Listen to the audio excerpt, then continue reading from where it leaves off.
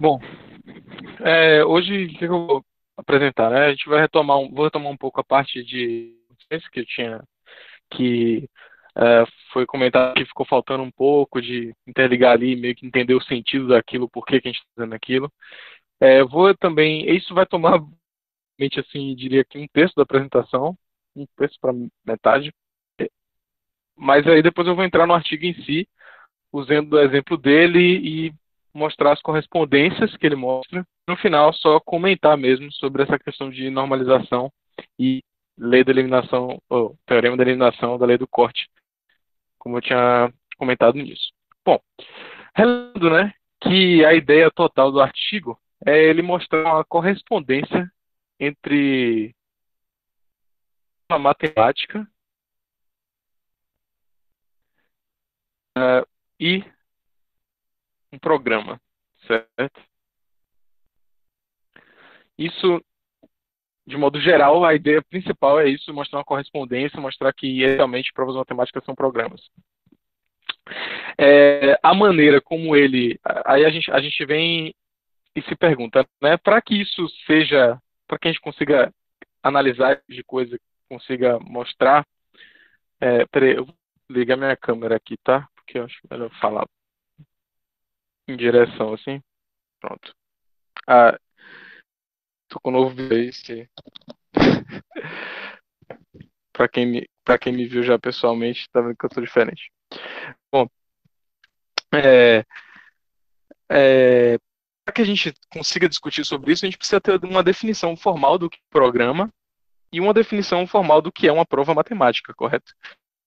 Bom, um programa, a gente já tem uma definição formal, que é o lambda cálculo, e mais precisamente, cada, cada termo de um formalismo lambda é um programa. Então, a gente tem que um programa, a gente está tá relacionado com o cálculo. Mas aí vem a pergunta do que é uma prova matemática, certo? Então, é, lembrando que essa correspondência ela acontece mas somente se a gente está pensando em matemática construtivista, lógica intuicionista, que eu já falei bastante na outra aula, na outra semana. É, então, mas o que é uma prova, né? O que é uma prova matemática? Então, o objetivo do cálculo de sequentes que eu apresentei na outra apresentação é justamente é uma maneira de definir formalmente o que é uma prova, de fato, uma prova matemática. Então, a ideia é você descrever um conjunto de regras bem determinadas é, para que a gente possa ter uma definição. Normalmente, é uma definição indutiva, de maneira indutiva. Então, você fala, é, você tem um elemento base, que fala assim, ó, isso aqui é, são chamados de axiomas, a gente fala assim, isso aqui é uma prova por si só, e você tem as regras de inferência. Então, essa é uma maneira padrão de, de, de você formalizar o que é uma prova. Que, através das regras de inferência, né, você vai construindo, a partir da prova inicial, que era o axioma, você vai construindo novas provas. E aí, é, é, obtém, cada vez que você aplica uma regra de inferência, você obtém uma nova prova. E aí, e você diz que toda tem alguma coisa que possa ser dada essas esse sistema de regras que tem, que é indutivo, porque você tem um, uma base inicial, você tem as regras para você construir novas coisas mais complexas, e, e aí isso é justamente essa ideia indutiva, né? Mas assim, existem maneiras diferentes de você definir provas indutivamente. É... Existem maneiras diferentes de você definir provas indutivamente. Então, isso, essas maneiras, essas maneiras diferentes caracterizam estilos diferentes de formalização dessas provas, dessa, dessas definições. E o estilo apresentado na semana passada é o estilo de cálculo sequente. Então é por isso que a gente estava apresentando aquilo, no final das contas, é, aquele lá, o, estilo de cálculo de sequentes é um estilo de formalização de definição do que é uma prova por isso que isso é importante para o nosso artigo, porque se você está querendo fazer uma correspondência entre uma prova e programa, a gente tem uma definição formal de programa e uma definição de prova. Quando eu falo de estilo de formalização, eu só estou falando da parte é, estética, entre aspas, bem aspas, e estrutural da formalização. No sentido de que, assim, usando o mesmo estilo, a gente pode definir sistemas de provas diferentes, é, de lógicas diferentes, inclusive. Então, o mesmo sistema você pode falar de. É, você pode usar o mesmo estilo para definir provas numa lógica clássica e para definir provas numa lógica intuicionista. Fazendo um paralelo com a computação, a gente pode pensar que, por exemplo, sei lá, autômato finito, autômato de pilha, máquina de Turing, tudo isso faz parte de um mesmo estilo de modelo computacional, que é usando fita e símbolos, né, e escrever símbolos em fita, um ler fita, né, é, e, por exemplo, cálculo lambda, cálculo lambda tipado, cálculo capa, são modelos, são estilos de descrever modelos computacionais, mas é, cada um desses, tipo, cálculo lambda, cálculo capa, descrevem modelos computacionais diferentes e são escritos de, de mesma maneira, mas ainda assim são equivalentes a, por exemplo, o cálculo lambda é equivalente à máquina de Turing, que é escrito em outro estilo. Então, no final das contas, resumindo, a gente está. Cálculo de sequente serve para a gente definir prova e é um estilo de, de formalização para definir o que é uma prova. Ok? Eu ia escrever coisa nesse, nesse slide, mas acho que não vou escrever mais. Então, o que é um, um, sequente, né? Isso a gente já falou na outra apresentação, mas eu vou repetir aqui. Então, um sequente pode ser visto como uma afirmação, tá? Então, dando um sentido mais semântico aqui para o que gente estava descrevendo na outra semana, uma sequência é como se fosse uma afirmação. É, também pode ser chamado de um julgamento, certo? E é descrito da seguinte maneira, né? Se eu tenho. Vou passar aqui se eu tenho uma sequência de fórmulas, sim, e esse símbolo. Então, aqui, isso aqui são fórmulas. Isso aqui é uma fórmula também. É, fórmulas, no caso aqui, são proposições, afirmações. Isso daqui é um julgamento. Um julgamento que diz o seguinte: uh, disse que tendo essas afirmações, uh, conclui-se, vamos botar assim, como hipótese, conclui-se beta.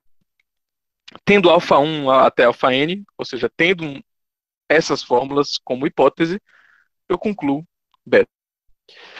Então, de fato, é, todas as, as, afirmações matemáticas têm, elas são dessa forma. Então, meio que você provar um, um, você quando você é, julgando esses quando você está descrevendo esses sistemas, cada sequente dessa corresponde a uma afirmação matemática. Ela corresponde a um, uma, um julgamento matemático, vamos dizer assim. E, e aí vale lembrar também, às vezes, essa sequência de formas, fórmulas, ela é descrita com uma, um símbolo grego grande. Isso aqui é uma sequência, não é um conjunto, mas é uma série de fórmulas. Isso aqui é, pode ser vazio? Essa sequência pode ser vazia. E nesse caso, o que, que significa o julgamento? significa se coisa do tipo assim. É, e a gente escreve desse jeito, tá? Porque a sequência vazia não tem nada aqui. Se eu tenho um julgamento desse tipo, o que isso significa? Isso significa que com nada como hipótese, você consegue concluir beta. Ou seja, isso, isso é equivalente a dizer que beta é uma tautologia. Então, isso é a mesma coisa de dizer que beta é uma tautologia, porque nada como hipótese você conclui beta. Então, você, essa é uma afirmação matemática, é uma afirmação da metalinguagem, não faz parte da nossa linguagem de fórmulas, mas é uma afirmação. E é, é, o que a gente faz no, no cálculo de sequentes é justamente descrever uma maneira de você uh, construir uma sequente. Construir uma sequente. Se você consegue construir aquela sequente, então é, esse julgamento, essa sequente, ela é um julgamento válido, é um julgamento verdadeiro. Essa é a ideia. E quando você pensa em essa construção indutiva, ela te dá uma como se fosse uma árvore de, de derivação. A gente vai ver isso. Quando você faz essa árvore de derivação, a gente pode dizer que a árvore de derivação é a prova em si. Então, ah, outro detalhe é, é, que quando você diz uma coisa desse tipo de K, essa sequência, é, dessa sequência conclui-se essa, isso aqui também é equivalente a dizer que a fórmula beta 1, deixa eu escrever melhor isso aqui, isso daqui também é equivalente a dizer que a fórmula alfa 1 e alfa 2 e alfa 3 e alfa n, né, até alfa n, implica beta, é uma tautologia. Tá? Isso, no final das contas, termina sendo isso. Então, é, você pode traduzir um julgamento para uma afirmação de que uma fórmula específica é uma tautologia. Sempre se pode fazer isso. Mas, em geral, pode se deixar somente com o julgamento, porque, assim, na metalinguagem matemática, a gente simplesmente diz que, ah, tendo isso aqui como hipótese, você conclui isso daqui. Então, vamos lá, como é que funciona essa é, o cálculo sequentes em si, né? É, lembrando que aqui o cálculo sequente vai definir indutivamente quais sequentes são válidas, né? Quais sequentes eu consigo alcançar através daquelas regras. Então, a gente dar um exemplo, vou dar um exemplo aqui de, de cálculo de sequentes do sistema LJ, já dando uma ideia de, dessa coisa indutiva. Então, a gente pode começa com axiomas, que são essas bases, certo? E um axioma da, da, do sistema LJ, na verdade, só tem um axioma, é dizer que se você tem uma fórmula beta, então, se você tem uma fórmula beta como hipótese, você conclui uma fórmula beta. Isso é dado como uma verdade absoluta, assim de cara. É, então, o que acontece? Isso daqui já é uma prova por si só desse julgamento. Não, você não precisa de mais nada para ter esse julgamento. E aí eu vou ter, tem algumas regras de diferença que eu vou colocar só algumas aqui, que são muitas, mas é só para a gente exemplificar. Então, uma das regras de diferença, por exemplo, é de disso aqui obtém-se uh,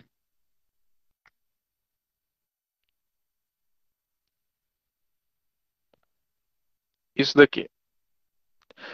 Então, isso aqui está dizendo que se eu tenho em algum momento nessa minha derivação uma, uma sequente do tipo é, é, uma sequência anterior e uma fórmula beta, eu posso dela obter uma sequência desse outro tipo de K, que é, é repetir a mesma sequência anterior, mas colocando um não beta, derivando o nada. Isso aqui também pode ser vazio. Então, disso obtém-se isso. Isso é um exemplo de regra de inferência. Outro exemplo de regra de inferência, que é muito natural, Uh, ah, tá. A ação disso aqui, tá? É assim, tá? Por isso, na outra aula, eu coloquei essa, essa, esse traço aqui. A notação da regra de diferença é assim. Disso, disso obtém-se. Ok? É, então, assim, é, outra regra de referência muito natural é de uma sequente que conclui alfa, obtém-se com a mesma com a mesma sequência de fórmulas alfa ou beta, sendo beta uma fórmula qualquer. Né? Isso aqui então pode ser escrito dessa maneira. Alfa ou beta. É, faz sentido, certo? Tenho como hipóteses uma coisa que eu consigo concluir alfa, é, certamente eu consigo concluir alfa ou beta também com essa mesma com essa mesmo conjunto de hipóteses, porque é, vai vai estar tá satisfazendo, né? Pelo menos o alfa aqui. Então essa coisa de fazer sentido é muito importante porque quando eu estou descrevendo é, um sistema através desse processo, o que eu estou querendo fazer, claro, é chegar em fórmulas, em, em, julgamentos que são verdadeiros segundo a lógica que eu quero escrever. Então, na lógica intuicionista, isso aqui vale, portanto, essa regra ela é correta, ela está de acordo com a lógica. Então, todas essas regras elas têm que fazer sentido, precisam ser corretas dentro da lógica que eu quero construir. Então, se a gente está pensando na lógica intuicionista, como foi é, discutido na outra, na outra semana, eu não posso construir um sistema desse tipo aqui que eu consiga derivar um julgamento do tipo P ou não P. Vocês lembram disso, né? Isso daqui era o era o, o ali do terceiro excluído, que é justamente a uma coisa que é tautologia na lógica clássica, mas que ela não pode ser na lógica intuicionista, por questões é, de filosóficas de definição de lógica intuicionista. Então, um sistema desse tipo ele precisa ser correto para a lógica que eu quero descrever. Se eu, se eu, faço um sistema que por algum motivo eu consigo é, juntar essas regras e ir, ir, derivando e derivando até chegar em algo desse tipo, é, então, na verdade, essa, esse sistema de regras não é correto quanto à lógica eu descrever, no caso, a lógica intuicionista. Da mesma forma, se a gente conseguir, se a gente fizer um sistema que chega numa contradição uh, da lógica clássica, por exemplo. Então, isso não pode ocorrer, ela não vai ser uma lógica correta. Certo? É, deixa eu só colocar mais um aqui, que é importante lembrar que nem sempre é de uma para outra, tá? Às vezes eu tenho de, uh, por exemplo, isso e isso obtém-se, vou fazer assim, obtém-se uh,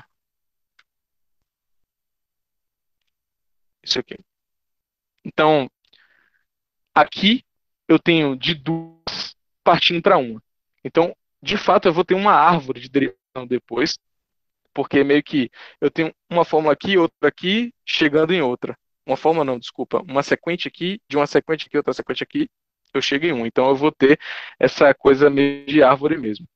É, então, aqui é um, um, caso também de uma coisa que é correto, faz sentido que seja. Se, de, com hipóteses de aqui gama, é, nesse gama grande, eu consigo concluir uma fórmula alfa é, e eu consigo concluir do mesmo conjunto de hipóteses uma fórmula beta, certamente eu vou conseguir concluir alfa e beta. Outros tipos de relação que são verdadeiros também, outros tipos de tautologia, outros tipos de ideias que são verdadeiras, a gente vai conseguindo obter é, através dessas árvores de derivação. Eu quero dizer assim, ideias mais complexas, fórmulas mais complexas, é, julgamentos mais complexos são obtidos através desses julgamentos mais simples, que são as regras de inferência. É, então, vamos dar um exemplo aqui uh, de árvore de derivação. Uh, vamos supor, por exemplo, usando uma daquelas regras lá, eu tenho duas fórmulas aqui. É, na verdade, acho que isso aqui vai ficar meio grande, então menor. Tenho duas fórmulas aqui. Isso é uma sequência de fórmulas. É, só ver aqui. Uh, beleza. Isso é uma sequência de fórmulas e eu estou derivando esse gama aqui. É, usando aquela regra de inferência que eu não, eu não coloquei aqui, tá? Nessa, nessa lista, porque eram muitas, muitas regras de fato. Mas só para dar um exemplo de árvore de derivação. De uma, de uma coisa desse tipo, eu consigo chegar numa coisa desse tipo. Meio que eu consigo pegar um cara que está aqui e jogar aqui. Então, é, o, que, o que essa regra diz é que eu, eu consigo realmente, se uma coisa está aqui na hipótese, eu consigo transformar para cá como implicação, isso faz sentido. Aí, por exemplo, eu tenho, sei lá, um φ1 aqui derivando uma fórmula alfa, eu tenho φ2 aqui derivando uma fórmula alfa implica beta. Dessas duas, aqui é uma aplicação de modus ponens, que às vezes também é descrito como uma regra básica. Então, eu consigo isso aqui concluindo beta. Ah, dessas duas, eu posso fazer é, isso aqui. Aqui é aquela do do ou, né? Então, eu vou introduzir um ou aqui. Se eu tenho uma mesma sequência de fórmulas, um, um i, se eu tenho a mesma sequência de fórmulas derivando uma fórmula e outro derivando essa outra fórmula, eu consigo dizer que essa mesma sequência deriva isso daqui. E aqui, é, o exemplo que eu tinha preparado, eu vou fazendo assim. Ah, vai ser usando a, aquela questão da implicação também. Φ2 implica delta tal, tal e beta. Bom, dá para entender a ideia, né? Então, é assim. Então, isso daqui vai ser uma prova desse julgamento. O julgamento que está no final aqui. Então, a árvore de derivação inteira é uma prova do julgamento final. É claro que eu parti de coisas que eu não sei se são julgamentos válidos, mas teoricamente você teria que partir lá de algum axioma, certo? Então, por algum, por algum processo aqui no meio, eu consegui chegar nisso. Aqui também, por algum processo aqui no meio, é, sei lá, um outro axioma aqui, e um outro axioma aqui, eu consegui chegar nisso. Então, beleza, a gente tem a ideia do que é, é esse estilo de cálculos sequentes para descrever uma fórmula, para descrever uma prova. Então, uma prova de um julgamento matemático é justamente a árvore de derivação que, na raiz, vamos dizer assim, você tem o julgamento final que você quer provar. Ok? Beleza. Essa foi a primeira parte para falar sobre de sequentes e dar aquela ideia melhor sobre o que significa essa coisa toda, por que a gente precisa entender sobre isso, né? É, é, a gente precisa para poder formalizar o que é uma prova de fato. E, no artigo, a maneira como Howard faz isso é, descreve né, ele descreve utilizando um cálculo de sequências também, e é por isso que foi esse cálculo que eu quis apresentar. Então, a gente vai entrar direto no artigo aqui. O objetivo geral é mostrar uma correspondência entre lógica intuicionista de predicados e o cálculo lambda tipado, certo? Mas o Howard começa nesse artigo por partes. Então, ele primeiro ele retoma de uma maneira diferente do é, uma coisa que Curry já tinha provado em 1958 e e como é que ele e que é essa retomada? O que é que ele descreve por partes né? Essa inicial é o que primeiramente como a gente quer mostrar uma correspondência entre lógica intuicionista de predicados é uma lógica de primeira ordem um pouco mais complexa é, o que acontece é você. É, ele começa com um escopo menor, que é trabalhar com a lógica intuicionista proposicional. E além disso, ele vai para um escopo menor ainda, que é considerar apenas uma parte dessa lógica. certo? Você vai considerar a lógica intuicionista proposicional somente aquelas fórmulas que são constituídas do conectivo de implicação, puramente do conectivo de implicação. E aí, quando a gente faz essa variante só usando o, a, a, implicação, só as, todas as fórmulas só vão ter lá P implica P, P implica Q, implica P, implica, só implicação.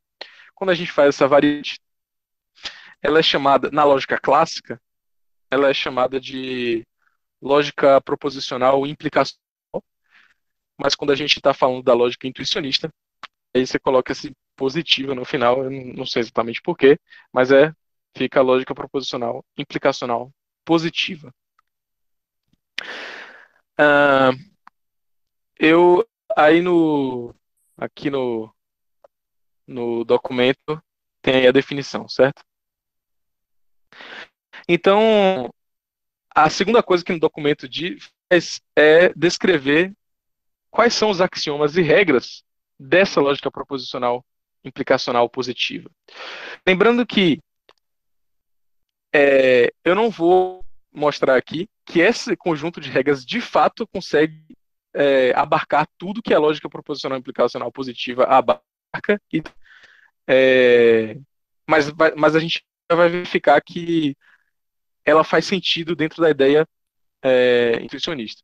Mas ela aqui eu não vou provar que, ela, que esse conjunto de axiomas e regras de fato é, representa essa lógica, mas eu vou confiar porque foi o que o, o artigo é, propôs, né? Essa, essa, esse conjunto de regras axiomas é o que propõe para descrever essa lógica de fato. Bom, a primeira coisa que ele coloca ali é axioma, certo? Então, parecido com aquele axioma inicial lá, a gente tem que isso aqui é um axioma. Ou seja, nosso base é de uma hipótese alfa, eu consigo concluir o próprio alfa ok? E aí a gente tem também a dedução. É, a dedução diz o seguinte: de uma sequência de fórmulas que eu tenho um alfa no final, é, ou melhor, de uma sequente que tem uma sequência com alfa no final que deriva um beta, eu concluo pegar só o início da sequência e jogar esse alfa aqui para dentro. Então, é uma regra que faz sentido, porque é, aquilo que a gente já discutiu se, se isso aqui faz parte da hipótese, é, e a gente está concluindo beta, se eu fizer por se eu é, é, é, é, assumir por hipótese toda essa parte anterior, eu vou ter que alfa implica beta. Isso aqui é uma ideia já conhecida e é que descreve essa regra de dedução. E a gente tem a regra de monoponens, que é uma ideia conhecida também, é que se eu tenho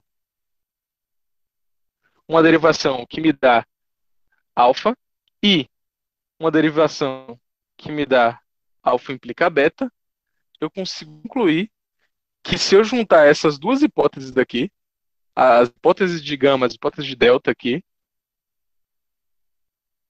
certamente eu vou concluir beta, certo? Então, mais uma regra de diferença desse cálculo aqui. A gente tem também o thinning, que eu não sei a tradução, encontrei alguns lugares como aquecimento, é, mas é algo desse tipo. Se a gente tem aqui. Basicamente, o que tem diz é que você pode acrescentar coisas no seu, na sua, na sua sequência de hipótese e você vai continuar concluindo a mesma coisa que você estava concluindo antes. Isso não muda. Acrescentar coisas na sua hipótese no sentido de que, no sentido de derivação mesmo, tipo, ah, com isso aqui já é suficiente para provar isso. Ter mais coisas aqui continua sendo suficiente para provar isso. Então essa essa regra tem, certo? Tem a permutação, que ela é um pouco chatinha de escrever, mas é simples de entender.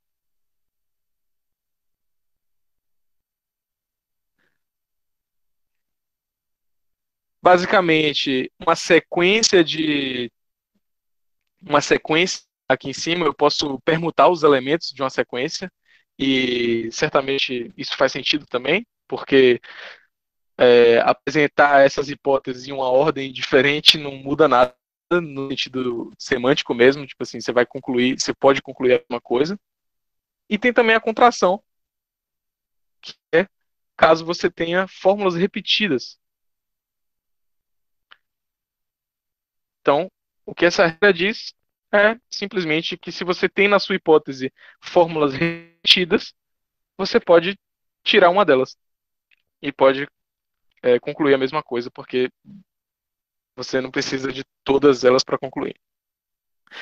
É, isso, claro, foi pensado para uma ideia semântica, mas isso aqui, só essas diferenças e esse axioma é suficiente para a gente descrever tudo que a lógica proposicional implicacional positiva consegue escrever.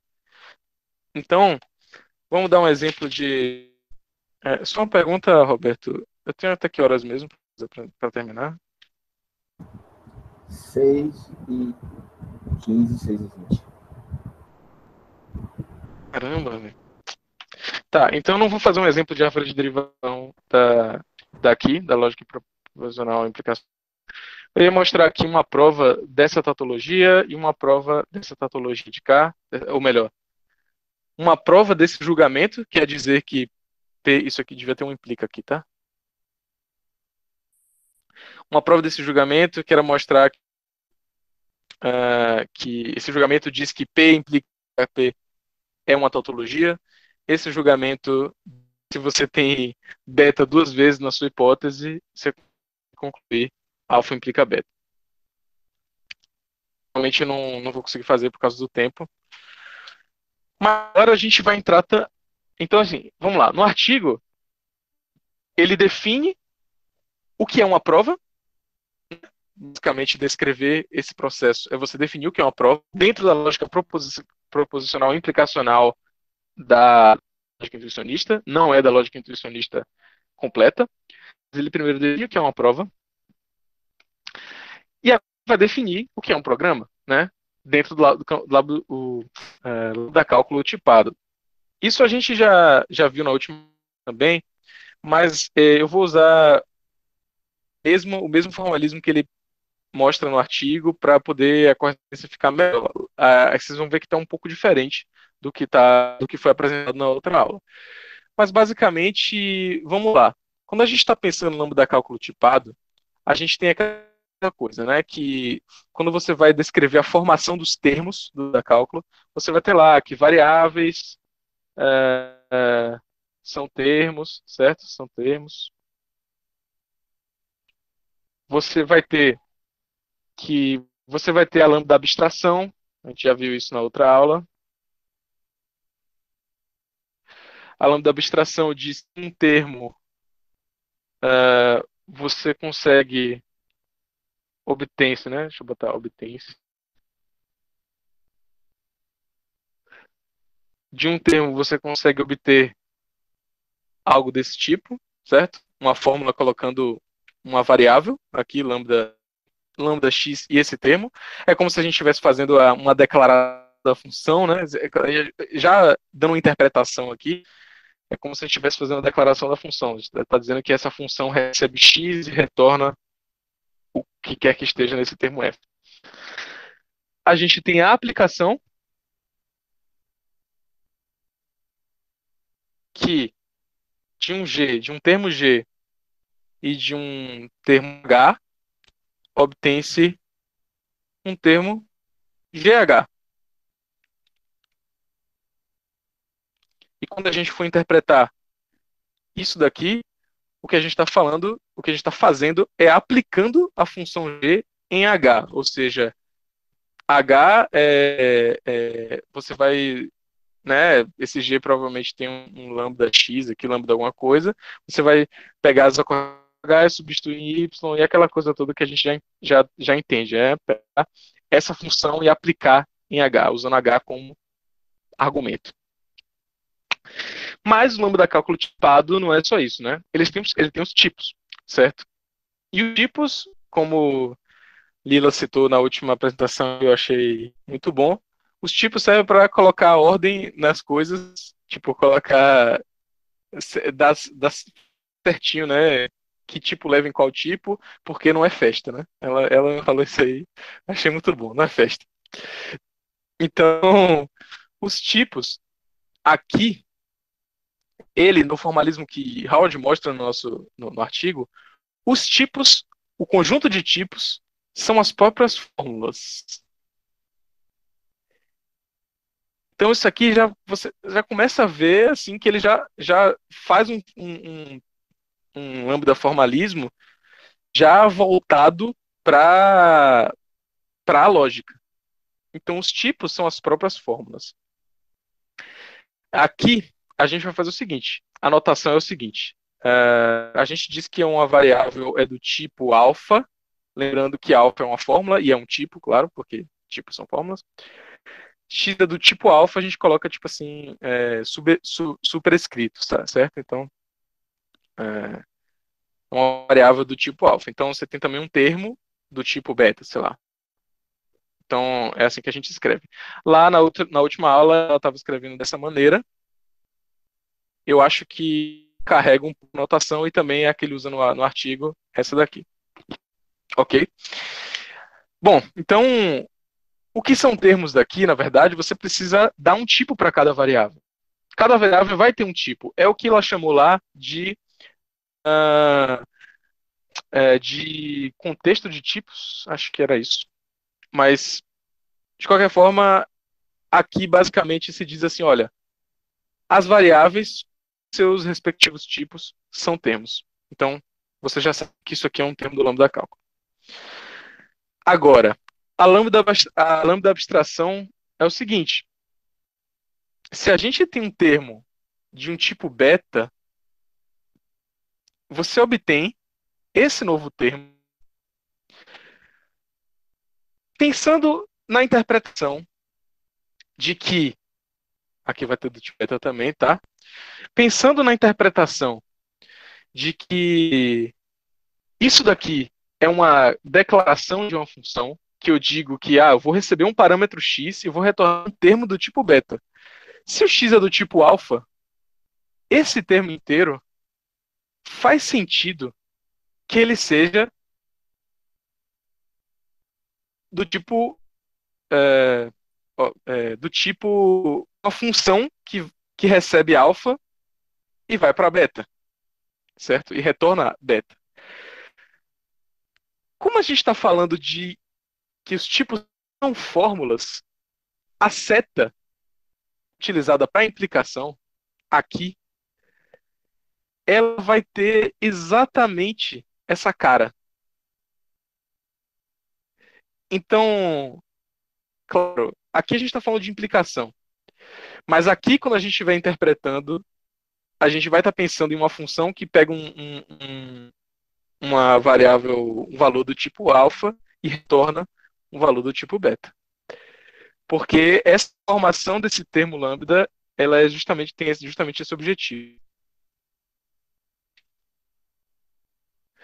Então é interessante ver que usar essa lógica implicacional justamente dá essa, essa facilidade em pensar em um conectivo só, que é o da seta, que a gente já descreveu lá aqui no, no de tipos, né, o simple, é, simplesmente tipado, acho que é esse, é, simple, simple type, simple type, é, cálculo lambda que você só tem um símbolo de é, entre tipos, né? E é justamente a própria seta aqui no nosso caso também. Contexto de fórmulas, a implicação no contexto de cálculo lambda é mais um tipo, certo? E claro que a gente vai interpretar um tipo que é uma função. Ok. Na aplicação, muito semelhante. Se você tem uma função que vai de alfa para beta, então, se você tem um termo que é de um tipo implica outra coisa. E um, um termo do tipo alfa, você vai obter um termo, quando você aplica G em H, aqui eu vou eu não vou escrever os tipos aqui porque não saber, mas está implícito. Quando você aplica G em H, certamente você vai obter um novo termo do tipo beta, certo? Então, tem toda essa ligação aí com as fórmulas e com os tipos. Quando você vê as fórmulas como, como tipos, você tem algo desse tipo. Então, E aqui você é, é, de, como construir termos no lambda cálculo. A gente viu exemplos na outra semana, então não vou colocar exemplos aqui, até porque está correndo.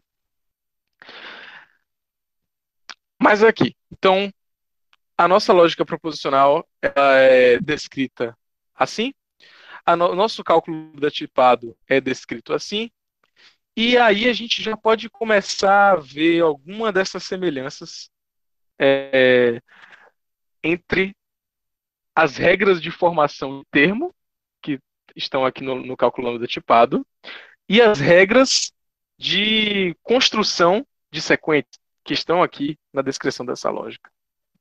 Por exemplo, você percebe que a aplicação, você tem um termo é, alfa do tipo implica beta, um termo do tipo alfa, e a gente obtém um termo quando a gente vê o modus ponens, é muito semelhante. Você tem um, um, uma, um alfa aqui, você tem um algo que deriva um alfa, algo que deriva um alfa, aplica beta, a gente obtém algo que deriva um beta.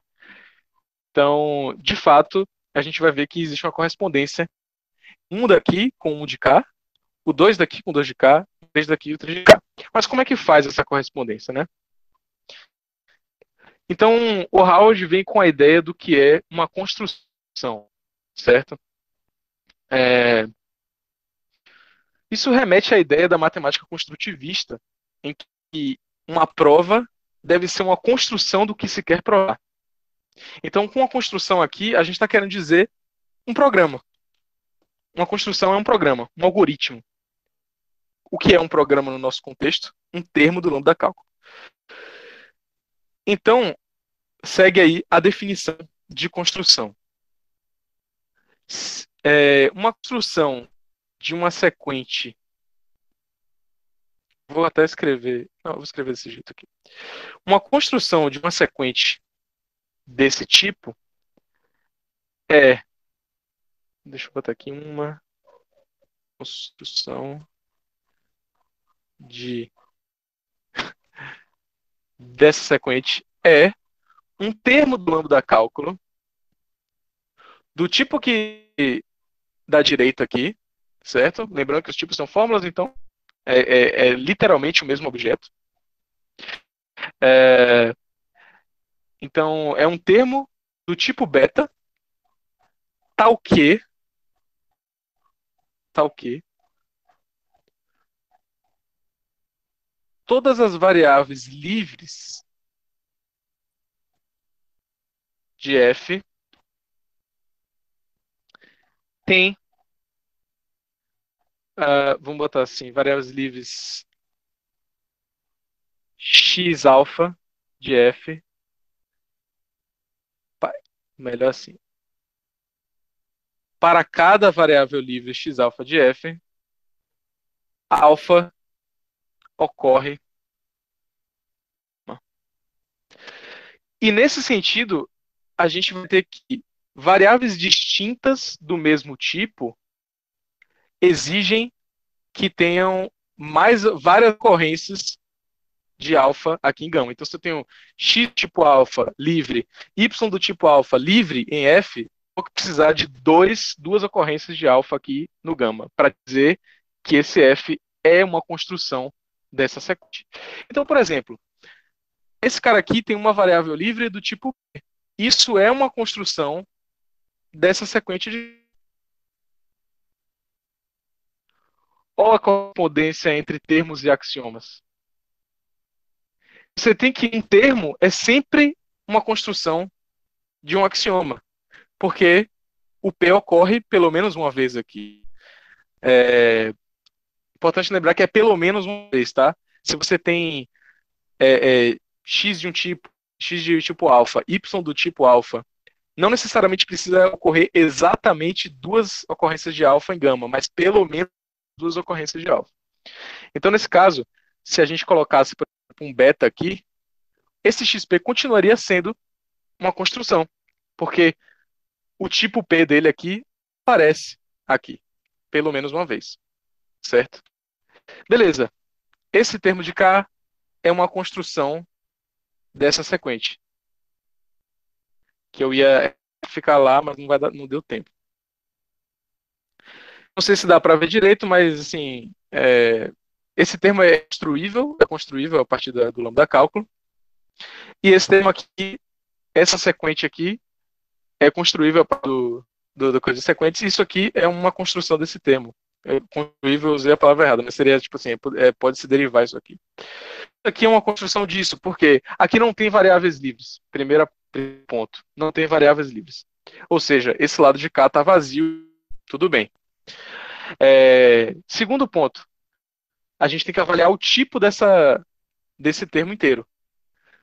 Certamente esse cara de cá, como é uma abstração, é do tipo beta, implica alfa, e isso aqui é uma abstração de novo.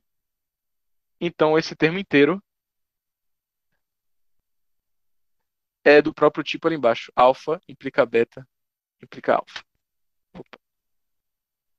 Certo?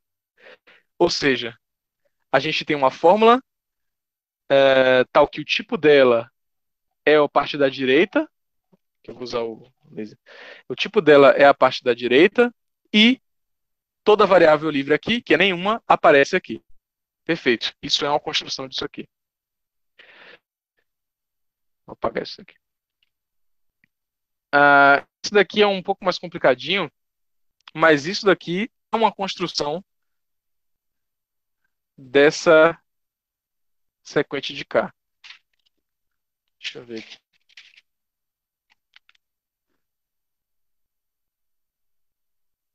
Certo? Uh, eu não vou perder muito tempo verificando isso, mas vocês podem verificar depois. Isso aqui é uma construção de fato. vamos, vamos logo uh, para as variáveis livres, né? É, você tem uma variável livre aqui, que é o y2, que é do tipo beta, e você tem mais uma outra variável livre, que é essa aqui, z do tipo alfa. Uh, na verdade, era para ser do tipo beta. Tá, era do tipo beta. Ok? É, z que é do tipo beta. Então, você tem, você tem variáveis livres diferentes do mesmo tipo, então tem que ocorrer duas vezes aqui. E se você aplicar aqui, é, se você for ir avaliando os tipos desse termo inteiro, você vai, no final das contas, descobrir que esse é o tipo uh, alfa implica beta. Aqui você vai, você percebe que é uma aplicação, né? Então você vai ter que meio que aqui você tem uma implicação grande, aqui você vai ter um cara do tipo um, do tipo de entrada da, dessa função de k, e aí você vai o tipo vai ter uma implicação menorzinha, que vai ser o tipo total disso aqui vai ser uma implicação menorzinha. É... Deixa eu ver. Ok.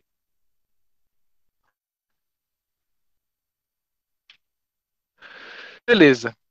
Daí, a gente chega no, no teorema que está no, no, Vocês estão me ouvindo? Sim. Sim. Ah, beleza. Porque meu relógio simplesmente travou o relógio do celular. Achei que o celular tinha travado. Beleza. É... E a gente tem um teorema que é o primeiro teorema do artigo, que é aqui vai ser um é, no, no, no, material lá ficou como teorema 3, que é o seguinte, dada uma derivação de uma sequente nessa lógica proposicional aplicacional, é possível encontrar uma construção dessa sequente e vice-versa. Dado uma construção de uma sequente, eu, eu consigo encontrar uma derivação de sequente. Então, qualquer termo que é uma construção de alguma sequente vai ter uma derivação dessa sequente, vai existir.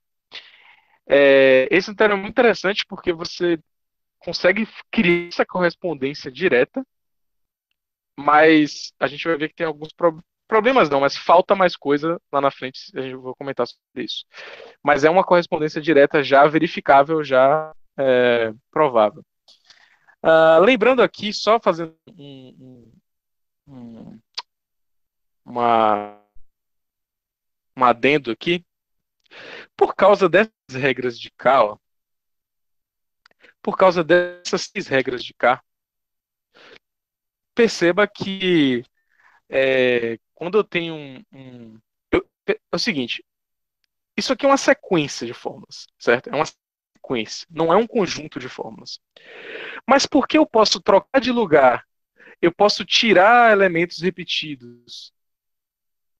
É, é, essas duas coisas, por causa dessas duas coisas, eu vou usar um abuso de notação como se isso aqui fosse em conjunto, certo? Porque no final das contas, trocar essas posições, é, consigo derivar as mesmas coisas. E tirar elementos aqui, eu consigo derivar as mesmas coisas. E por causa dessa regra de, de K, é, se eu tiver, por exemplo, um gama que, que eu concluo um alfa aqui, um beta aqui, né? Eu vou ter uma derivação que vai me chegar no gama unido. Eu vou usar essa, essa abusar, é, abusar relação aqui, né? Ao alfa, o beta. Essa união aqui é só para dizer que agora o, o alfa vai correr nessa nova sequência que eu criei. Agora, onde ele vai ocorrer, não importa, porque eu posso trocar de lugar e também se já tinha um alfa aqui dentro ou não. É, alguns casos pode importar, principalmente quando a gente está pensando na, na ideia de duas variáveis distintas. Então, isso aqui é importante quando acontece duas vezes. Mas, em geral, para coisa geral, eu vou utilizar essa notação aqui, porque essa, essas trocas não, não interferem em nada. É, ou melhor, essas trocas me permitem me permitem tratar isso como se fosse um conjunto. No sentido de derivação, eu consigo derivar a mesma coisa. Certo? Então, para a prova desse teorema, a gente vai provar indutivamente. É, como é que a gente prova indutivamente né, a gente está falando, tá falando, tá falando de números naturais, a gente está falando de derivações, de árvores de derivações. Então, a ida, por exemplo, que eu vou assumir é, uma derivação e vou concluir que existe. Deixa eu botar aqui. Vou assumir uma derivação de uma sequente e depois eu vou concluir uma construção, vou mostrar a construção. Então, eu vou ter que fazer uma indução aí na, na construção de sequentes, né, na derivações de sequentes. É, vamos voltar aqui.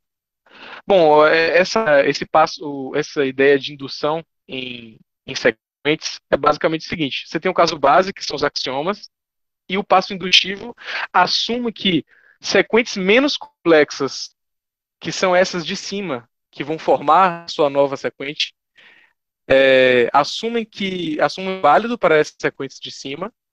E se você mostrar que quando você assume válido para essas, também assume para essa de, também é válido para essa de baixo, você meio que prova essa, essa passagem, né? Então, é, quando você for pensar no passo indutivo, a sua fórmula, a sua sequente geral, a sua sequente que você vai estar tá querendo provar para ela, é, ela, ela só pode pode ter duas opções aqui. Duas não, no caso são, são cinco opções. Só podem ter cinco opções aqui.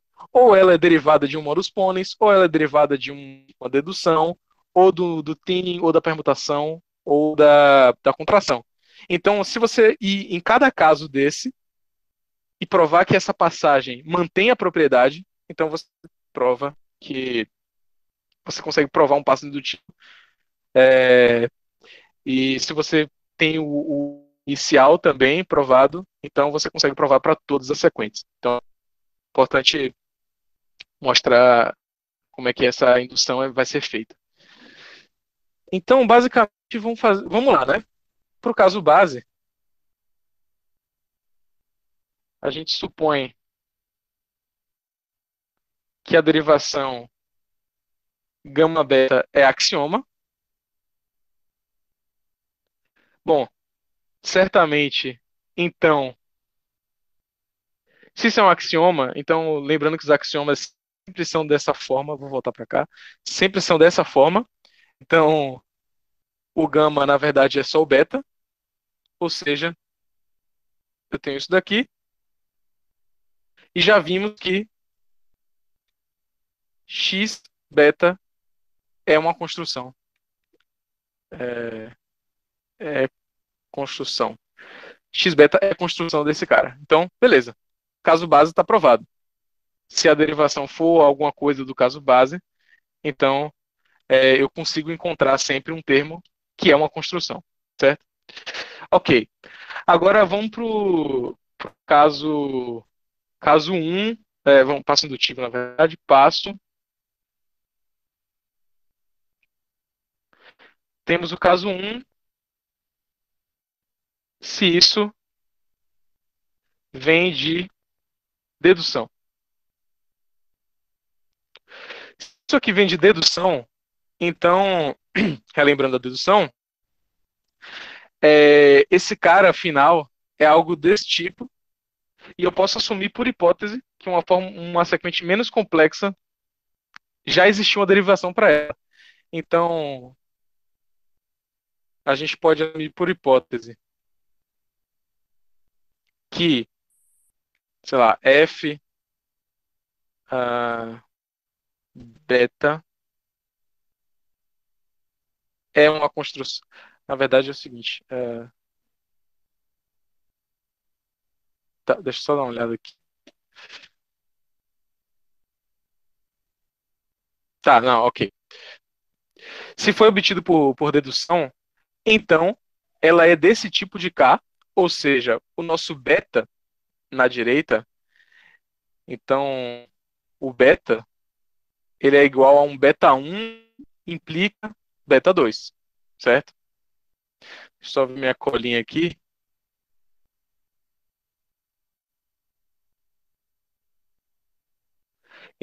Então, aí vamos lá. Agora a gente supõe que existe uma. Poxa, caramba, isso aqui. Me...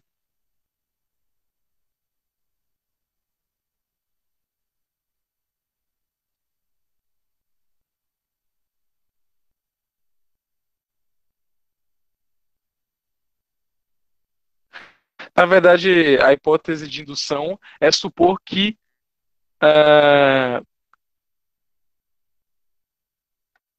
Ah, não, tá certo, tá certo, foi mal. foi mal, eu, eu, confundi aqui com a volta. Ok.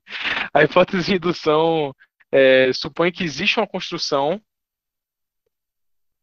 existe F uh, beta, construção de do cara de cima, que é esse aqui, que é gama, alfa, concluindo beta. Então a gente su supõe que existe a construção desse cara. Uh, então o que, que a gente pode fazer? Se a gente aplicar. É, então, vamos lá, vamos, vamos, vamos, A gente vai aplicar a lambda, lambda abstração aqui. Então, se eu tenho beta, se eu tenho que esse cara é uma construção desse cara de cá, então, para cada variável livre aqui, a fórmula, é, o tipo dela precisa ocorrer nessa, nessa sequência de K, certo? Para cada variável aqui, o tipo dela precisa ocorrer nessa sequência de K. Então vamos supor um x que seja variável livre que tenha tipo alfa, certo? Então a gente supõe x em FB é, do tipo alfa. Então vamos já escrever aqui. X alfa em FB. Pelas regras, pelas regras lá de construção de termos, eu posso aplicar uma lambda uma lambda é, abstração formando lambda x do tipo alfa f beta. E esse cara é do tipo. É, então, eu acho que ficou um pouco confuso. Eu acho que é por causa do tempo também. É, eu estou pensando, eu acho que você deu a ideia boa, e aí eu acho que a gente pode deixar a prova, a prova direitinho para o começo da próxima. O que, que você acha? Tá, tudo bem. Eu. É, aí gente. É, é, beleza. Vai ficar faltando aí e tal, mas. Acho que vai terminar ficando um pouco lento, né? Porque demorei bastante essa parte inicial. Mas. Você acha que. E qual parte que ficou confusa quando começou a falar da indução? Encerra aí que aí, tá, deixa as palavras finais aí que a gente Tá, beleza. No final das contas, é, para esse caso 1, só para terminar aqui, é, se eu tenho esse termo que é uma construção desse cara, é, eu posso fazer essa lambda abstração, certo? Posso formar um novo termo desse jeito. E esse novo termo é uma construção do alfa, alfa não, tá? É, que é beta, beta 2, certo? Porque aqui era. Não, desculpa, esse aqui não era alfa, era beta 1, certo? E beta 2, ok? Beta. Isso aqui é beta 2, isso aqui é beta 2, isso aqui é beta 1. Acho que isso aqui pode ter confundido também. Tá? Isso daqui é uma construção do. É, desse cara de cima aqui. Certo? Beta 1, beta 2 é o próprio beta. Para o caso 1 é assim, para o caso 2, a gente fazer, uh, a gente aplica, então, só para resumir, lá na prova por dedução, quando o, o F quando o F é obtido por dedução, a gente aplica a lambda abstração. Quando o F é obtido por modus ponens, a gente aplica a gente bota a aplicação.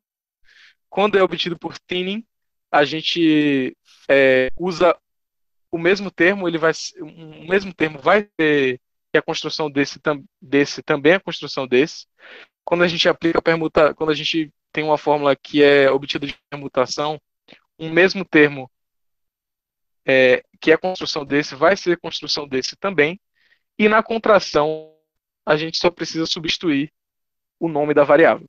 Então, isso tudo para dizer que para cada caso aqui, para cada caso de, de sequente que foi construída, eu posso usar regras do da cálculo tipado para achar uma construção desse, desse caso. Então, isso termina provando a ida desse teorema. A volta é, é, acho que é mais simples ainda, mas a gente vai encerrar por aqui e também depois desse teorema a gente vai falar sobre na próxima aula a gente sabe que lambda cálculo não é só formação de termos, lambda cálculo também é aplicação, é aplicação, então você, opa, deixa eu colocar aqui a câmera. É, é, a aplicação também, então você tem lá um termo, você aplica esse termo a outro e você faz aquela beta redução que a gente já viu, e a gente vai mostrar o que isso, qual é a correspondência disso com a lógica na próxima semana, se, se der tempo. Beleza? É isso.